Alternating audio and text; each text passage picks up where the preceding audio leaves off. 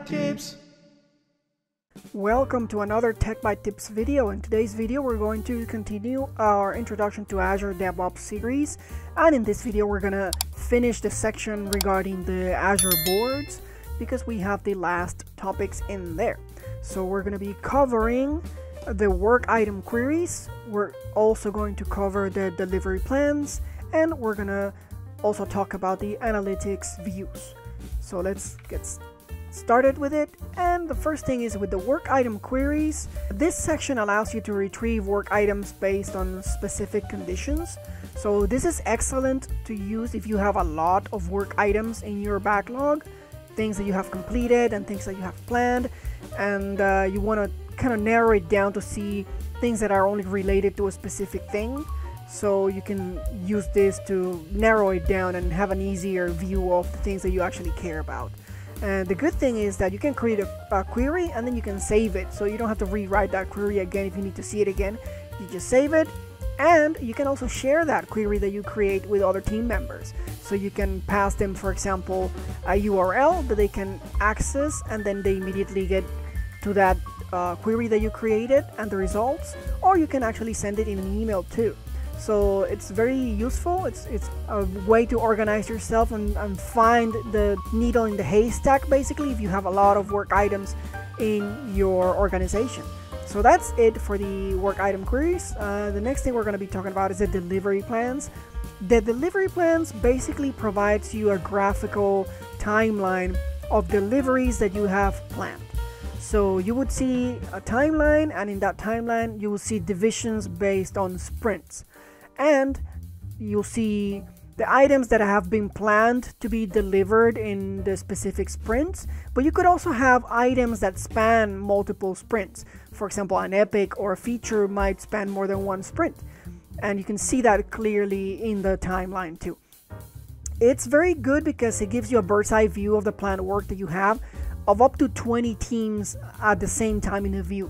So it is really good for management. It's a tool that allows them to see the, the progress and the planning that is uh, already been done, and they can see if something's falling behind, or or you know they can make changes to that plan of deliveries in in a really nice and clean uh, view and uh, it allows you to view the work items at different levels too. So you can see it at the epic level you can see it at the features level or you can see it down to the story level. So that's the delivery plans. And uh, the last thing that we would talk about is the analytics views. And this allows you basically to create power bi reports of work items so only work items. And uh, it allows you to filter those uh, work items using different criteria and once you create a view in the Azure DevOps platform, then you can use a Power BI data connector to connect to that view and visualize that data in a Power BI dashboard however you want. So that's the last three items that we're going to be talking about. So let's get to the boards, the Azure DevOps, and see the things in action.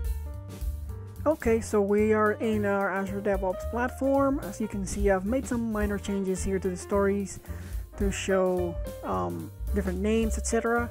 And we're gonna go into the queries section here under the boards and we don't have anything right now. So we're going to create our first query here.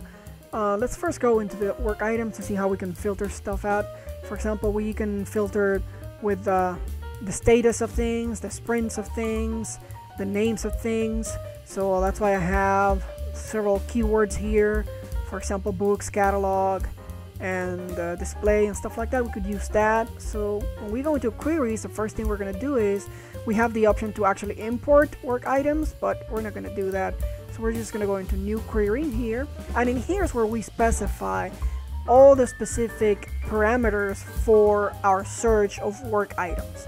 We can add and remove them here. So for example here it starts saying you know a change date is uh, in the future basically. I don't want that and here we have for example by the type of work item and we can say here for example with the operator equals that we only want to see I don't know say bugs right in here we also have something that says and also not only that it's a bug but that its state is currently equal to and then we can pick a state here So I believe our bug was in the status of new. So let's do that and then run the query to see if we can find the bug. So we press the run query and as you can see out of all the work items that we have it found our bug that is on the new state. And we can do this with other things. For example, we can change this to uh, epics and then we run the query again and we have our epic. And if we go, for example, to stories instead, user story, and then we run this, then we'll see all of our user stories. So you have a lot of flexibility here to add different clauses and uh, find the things that you need based on a lot of different options that you have here. The title, for example, could contain a specific word. So if we say I want something that the title says book and it's new, notice that we did not get any results in this case, but we saw some more items that had the word book in their title. Watch out, you have to be careful with the operator.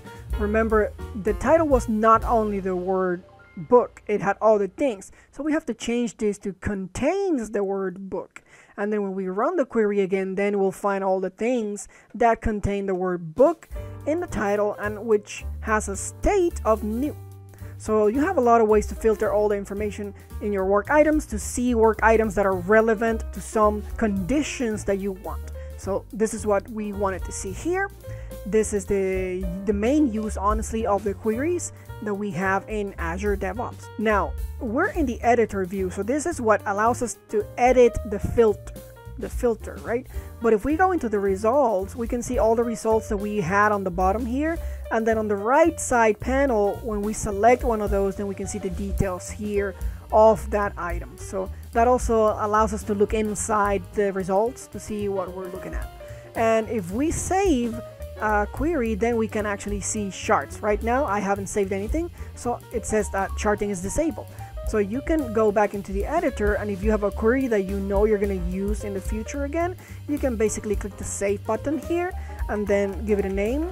Let's just give it this name for now, and you can organize your queries into folders too, so and then you click save. And then once you do that then you should be able to go when you go into queries see your saved query here. And when you click on it it'll take you to that query and that result. And you can edit it too if you want. Another thing that we mentioned in the slides is that if I create a query and I find that this is useful for someone and I want to share it there's several ways to do it. You can click here where it says copy query URL it gives you the URL. You can just give this URL to someone and then they can put it in their browser and it'll take them directly to here to see the results of that query. Or you can click the email query button, then you can pick someone in your organization. You can put a note here about the query that you're sending to them and uh, they'll see this information. So it's, it's, very useful. Also, you can share it that way. And as usual, we can always uh, make changes to how we see things here. We can add columns, remove columns, so that's uh, typical, usual for us. You can also start a new query by going into the new button and selecting new query. So that's very useful here. Also, basically the main things that you can see here, you can rename the query if you want, if you have already saved it. So that's an option that you have there. And once you have it saved, then you should be able to see charts when things have happened here with your different uh, results from the queries. So you can create charts here and visualize that. The next thing that we're going to cover is the delivery plans. As we mentioned, this is a way for us to clearly see like a bird's eye view of what we have planned for our team, our, our project. So the first thing we need to do here is we need to create a new plan. We can go here in the top right or just click here and then we, you can just create uh, a plan with any name let's just call this one test plan. And then you have to pick here the team the project and the backlog. How do you want to see the the backlog displayed in the graph? You can go like we said by levels of epics features and stories. So it depends on what you want to see. You can pick here. You can always change this. So you can pick whatever. Let's just pick epics for now remember that I said that you can add up to 20 teams in this view. So if you had more teams you can come here and pick it. But I don't have another team so I'm just gonna leave it as one. And with this we can just say create and then we'll get our timeline of planned work. In this case we're looking at the epics so that's why we only see one sprint and one epic there. But the reality is that there's more stuff, so we can always see it in another level. So if I go into the settings and I go into teams, I can change this, for example, the features level and save, and then it'll switch to the features. And as you can see, we have four sprints, but we're only seeing one feature because we haven't really defined the epics and the features here when it comes to the timeline. So let's switch that to the story level and see how it looks. And save it. And now you can see more of a coherent thing, right? So in this case, we have uh, in the sprint one, a story that said that we wanted to deliver the display of a table of books that are available in the store. So, so that's was supposed to be done in the weeks of January 1st to January 12th. And then in the second sprint that started on the 15th and ended on the 26th, we wanted to display book details. And that was what was going to be delivered. And in the third sprint, we wanted to display book reviews, for example. So that was from January 29th to February the 9th. And look at this, we're at the end of this sprint, and then for the next sprint, we have planned to allow to filter the catalog by category or genre. So you can see the whole timeline from the past to the future and where you are right now in that timeline. And if you had more teams, you would see this uh, like another swim lane here for the other teams. So if you have more teams, you would see more swim lanes here that represent the other teams. So this is great for management. They can see what has been delivered. If something spans more than one sprint, that is also very good for them to know because then they can know you know this wasn't planned properly. It should have been broken down maybe into different parts. And you can also see you know how's the use of your time and your teams when it comes to deploying and delivering results for the business. So that's basically it for the delivery plan. It's just a, a way to view like a bird's eye view of the work that is done and planned to be done in the future so that's basically it for this time. But since I only have one team, I want to show you how it would look if you had more than one team. So let's go into the Microsoft documentation. And in this case, for example, if we had one, two, three, four teams, you would see it like this. One lane per team with all the things that they have delivered in the sprints. And the sprints, it, it depends on how you make them. So this is basically by month and year, or it could be by sprint name or some other thing. But this is how it would look if you had more than one team.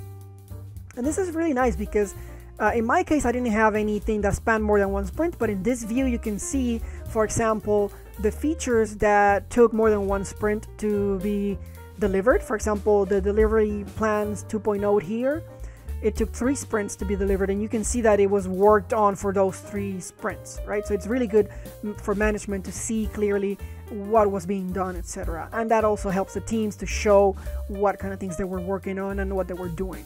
So that's the advantage of the delivery plan. So now the last thing that we would want to cover, because the delivery plans and the analytics views are new things that were recently added.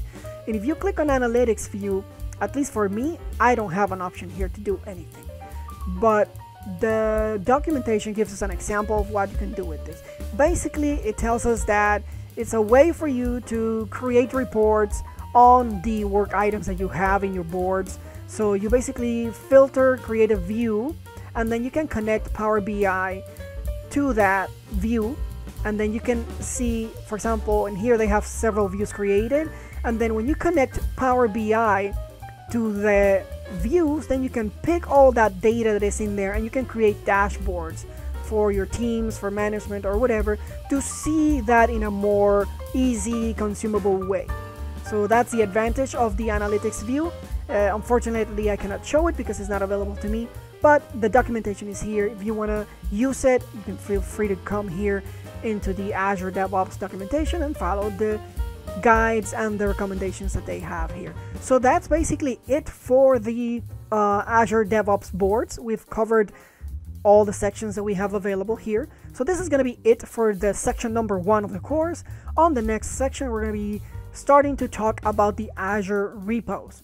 And the Azure repos also has different things that we need to cover, so we're gonna get in depth into that.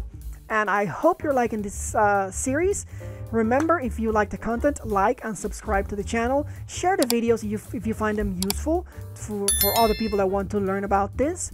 And remember, you always have the option to write in the comment section below to let me know what kind of things you would like to see featured in the channel. I always look at the comments. I try to respond to you every week, at least once a week. and uh, I look at your recommendations. I if I find them to be useful, if I find them to be worth the effort, I put them in the queue and I'll let you know. In the case that it, it, doesn't make it to the queue for some reason, I'll also let you know. So you always have some sort of input from me on your request. And also remember, if you want to support me to continue making this type of content, there are links in the description below where you can donate through PayPal or Bitcoin, and that'll really help me out to focus on the channel and giving you quality content that you want to consume. So thank you very, very much. See you in the next one.